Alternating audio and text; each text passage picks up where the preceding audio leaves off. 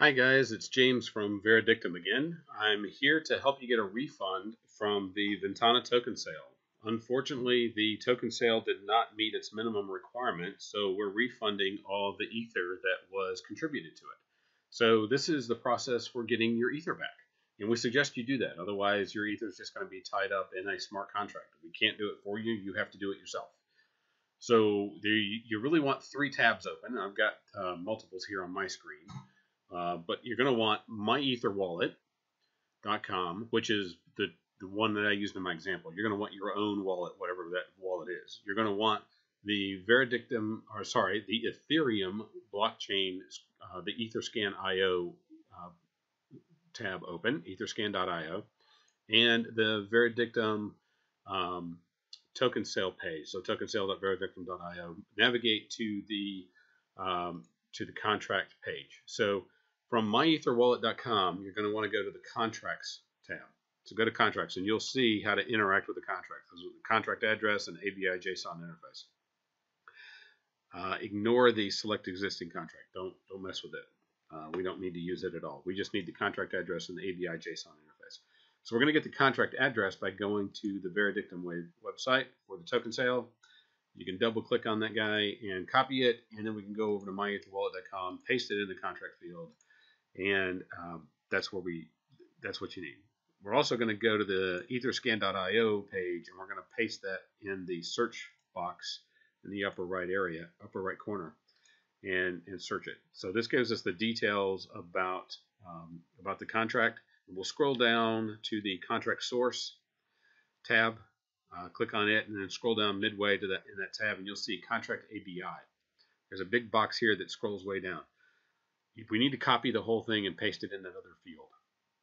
So the easiest way to do this is to triple click on the field. Well, three fast clicks, one, two, three, and uh, it highlights everything uh, from beginning to end. So that's that's nice. It should get everything. Then right click and copy, or just Control C, and then go back over to myetherwallet.com. And when you do that, just paste it in there. So you'll get the whole thing that you just copied, paste it in there. So contract address and ABI JSON interface are important, and we're going to click Access. What this allows us to do is access the read-write contract functions.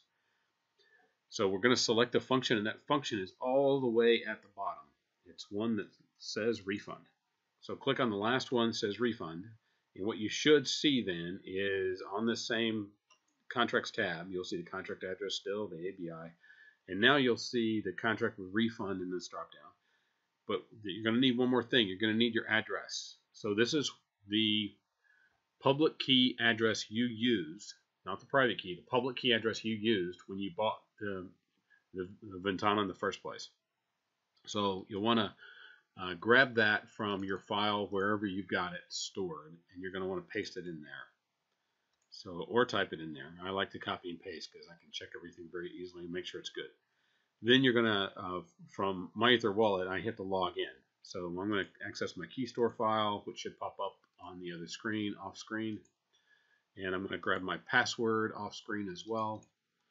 Um, and I'm just going to paste it in because that's the easiest thing to do. Unlock it, and now I can actually write to that contract and request for a refund. That's what we're doing. So we're asking for a refund from, from this address, from the contract, to be credited to my address here. So when I do that, amount to send, don't put anything in there, leave it zero. Uh, and your gas limit, leave it alone too. You don't have to do anything with that. Uh, it does cost you a little bit to get the refund, but that's the transaction of the blockchain. So that um, that's not something that we at uh, Veredictum, uh, we don't receive anything from that. So I'm going to click on Generate Transaction. It's going to pop up with raw transaction, tra signed transaction, just like it did last time when we talked about how to buy it, how to get involved. Um, you can cancel at that point if you want to, but I'm uh, I'm sure this is the transaction I want to make. And so it's been broadcast to the network. So it says it may take three plus hours to confirm. Um, so what I'm going to do is go over to another etherscan.io